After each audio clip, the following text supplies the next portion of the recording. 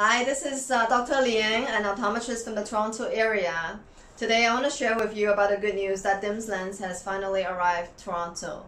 I've shared previously in my YouTubes about the seven myopia control methods. This is seventh one. So uh, DIMS lens is a new technology. It's uh, researched by the Hong Kong Polytechnic University optometrist. So uh, this provides better efficacy for myopia control. So most of the myopia control effects are they range from 30 to 46 percent. This has a 51, 59 percent effect on myopia control.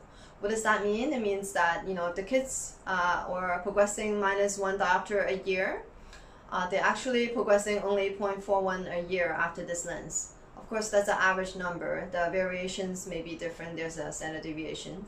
Um, so the other features of this lens I want to share with you today are um, it's actually a 1.59 index. It's a polycarbonate material, so it's more impact resistant. It's got really good coating that's water resistant, uh, UV protected, and scratch protected. It's uh, good for people in the age of 6 to 18 years old. So this is uh, pretty good for people who's got uh, minus power, but also with uh, astigmatism power as well. So if you know anyone that has uh, a child or is concerned for their child going in nearsightedness, uh, it's good to share this video with them and so they get more uh, knowledge about how to help their kids.